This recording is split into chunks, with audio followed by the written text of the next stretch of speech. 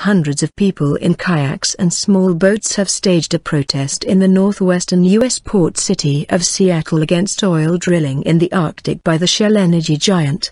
Paddle in Seattle was held by activists who said the firm's drilling would damage the environment. It comes after the first of Shell's two massive oil rigs arrived at the port.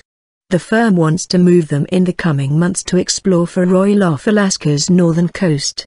Earlier this week, Shell won conditional approval from the U.S. Department of Interior for oil exploration in the Arctic. The Anglo-Dutch company still must obtain permits from the federal government and the state of Alaska to begin drilling. It says Arctic resources could be vital for supplying future energy needs. The flotilla of kayaks, canoes, sailboats and paddle boats gathered near the 400 feet, 122 meters, tall Polar Pioneer drilling rig.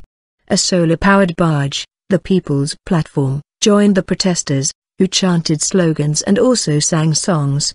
This weekend is another opportunity for the people to demand that their voices be heard, Ali Harvey, Alaska representative for the Sierra Club's Our Wild America campaign, was quoted as saying by the Associated Press news agency.